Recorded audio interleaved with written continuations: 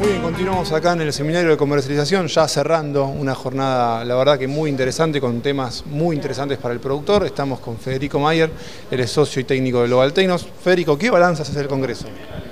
La verdad que en primer lugar muy contento con, la gente que van pasando los años, van cambiando las circunstancias, momentos de mucho optimismo, momentos por ahí de, aires más, más, más fieros y bueno, seguimos trabajando con ellos. Así que lo, primero para nosotros es esa sensación de, felicidad de, la gente con, la que trabajamos todo el año.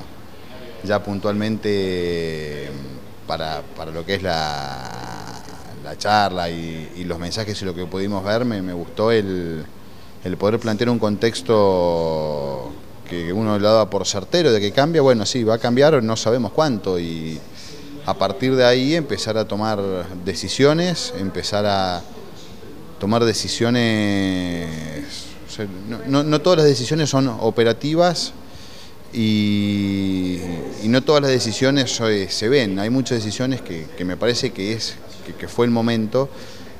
Eh, de, poder eh, ese trabajar por dentro que no se transforme en parálisis. Que uno, eh, el, el, auto que está acelerando el motor para inflar el motor y salir de pique no es lo mismo que el auto que está parado estacionado, aunque de afuera se vea lo mismo. Y me parece que lo más importante es eso. Bueno, tenemos un año y medio por delante donde algo va a cambiar. Bueno, ¿cómo nos preparamos? ¿Cómo, primero, preparémonos, arranquemos el motor, inflemos el motor, y ahí, bueno, vimos algunos casos que me parecieron buenos donde bueno, no, no todo es, eh, hagas un criadero, integrate verticalmente, parate. Podés hacer lo mismo y mucho mejor, o mm, haciendo más eficientes los procesos, o estudiando los procesos, o, no sé, agarrando un poco de campo, mejorando la maquinaria e integrándote puertas dentro del campo.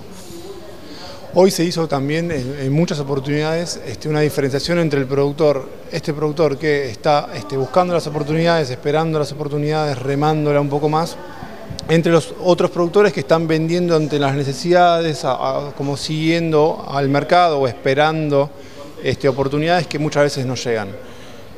¿Cuál es el consejo al productor en general que hoy todavía no está tan este, usando tanto las, herramientas comerciales, etcétera, etcétera, etcétera? El consejo, creo que hay que tomar todas las herramientas.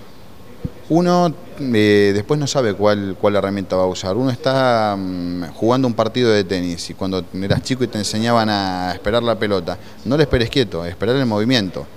Después, si vas a usar un revés, si vas a usar un revés con slice, si vas a usar un revés con top, alto, bueno, vienen un montón de variantes. Vos lo que tenés que tener son la mayor cantidad de recursos que te permitan a vos dar estabilidad en el peor escenario y después construir, pero con estabilidad. Y creo que las herramientas comerciales son recursos y lo que tenemos que tener a disposición son todos los recursos.